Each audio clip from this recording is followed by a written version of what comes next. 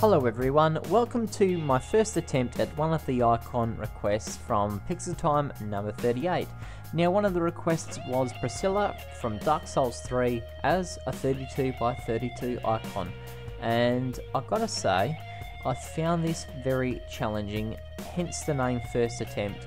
I do feel I did a pretty good job but I feel I can do better and this is one of the reasons why I took on these requests. One, because I really want to engage with you guys a lot more and build a little community around uh, this channel where we can all be a part of it.